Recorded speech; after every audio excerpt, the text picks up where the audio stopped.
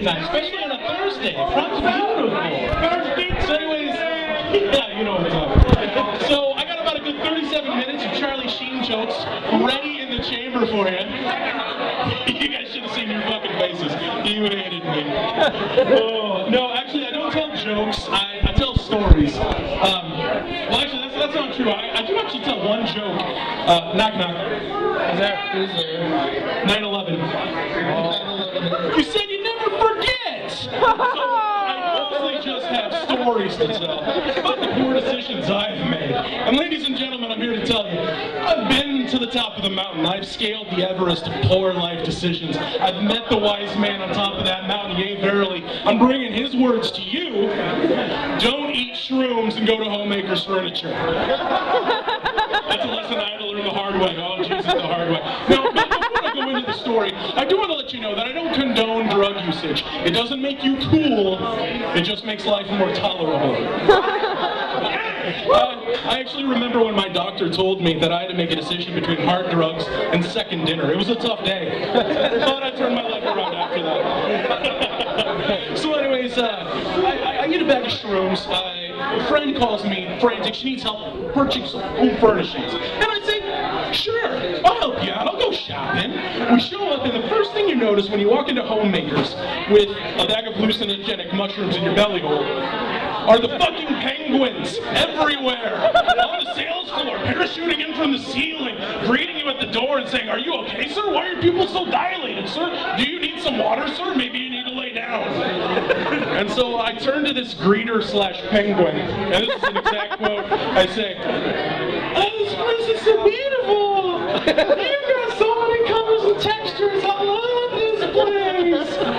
Oh shit! So I, I'm not so much helping my friend as I am heckling the furniture.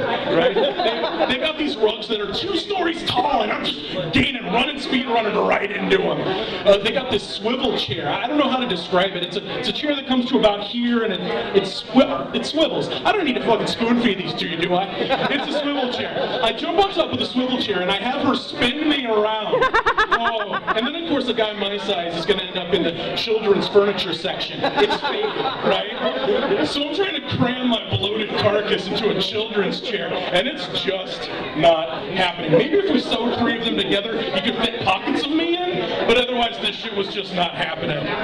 So I would try to sit myself in this chair, and I would laugh and laugh and laugh, and my friend would laugh and laugh and laugh, and security would watch us and laugh and laugh and laugh. It becomes very clear that I have to leave Homemakers Furniture right now. So she asked me on her way out, do you want to go get some dinner? And I say, sure, I'd love some dinner. What she doesn't tell me is that it's dinner with her two 14-year-old nieces.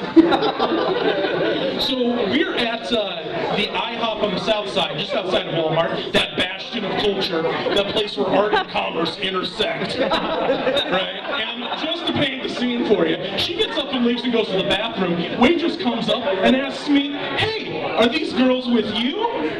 Now that's a loaded question, especially wearing these glasses, because these glasses two modes. One is, I'm already high, and the other is, I got candy in the van.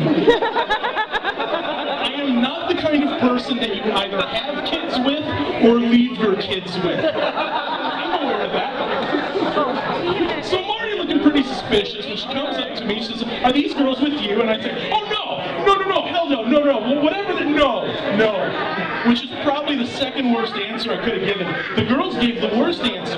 Yeah, we're with him. He showed us some pictures on Facebook, and he promised to take us out for pancakes. Shit, that could have been handled better.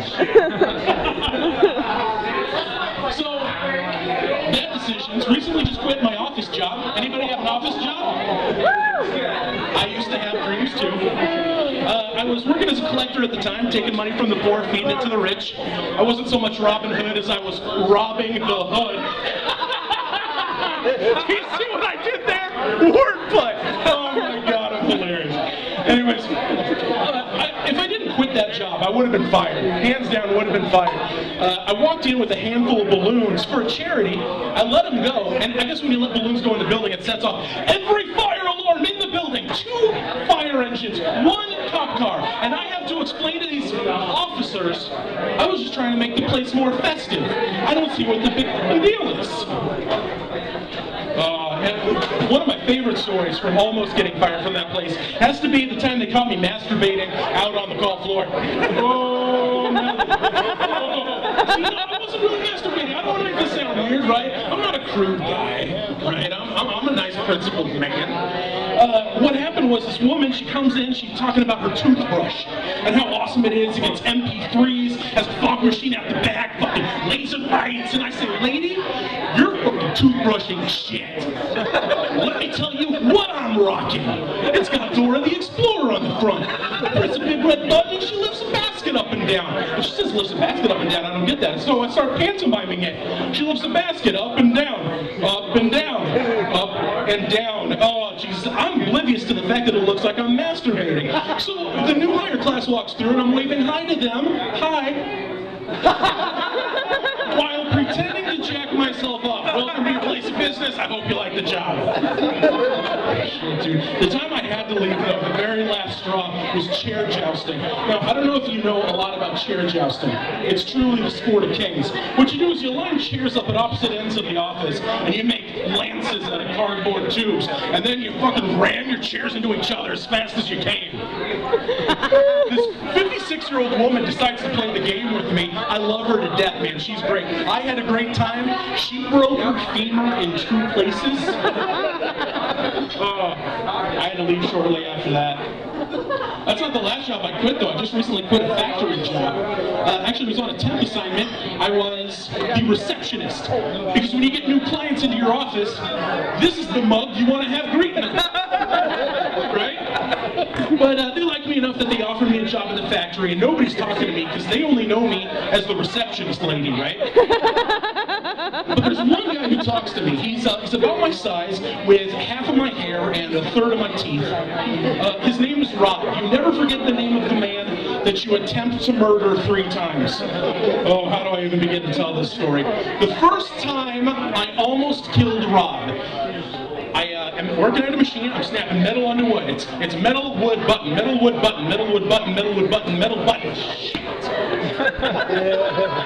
Not shooting shenanigans on this one. I bent his finger into a Tetris piece. Oh, but he's coming back a week later because he has a family and a meth dealer to support. And power to him, right? So he's coming back, and he, I'm working the same station. He's working behind me. He's handing me the pieces of metal that I'm snapping to the wood. Well, I kind of drop it, but I catch it, and as I catch it, it goes in his hand and out of his hand. And he staring at me, and I'm staring at him, staring at me, I'm staring at him, and he lets out this scream that's like a like an angry, wounded Sam Kinison, just kind of like a. Ah, ah, ah, and I am letting out a scream like I'm a child who just watched his dog get run over.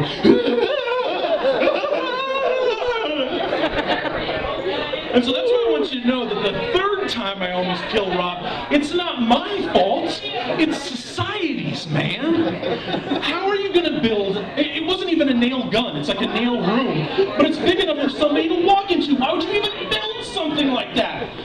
Now, granted, I should have turned off the machine before I sent him in to fix it. But I'm not saying that I'm not at fault. I'm just saying I share the fault with all of society.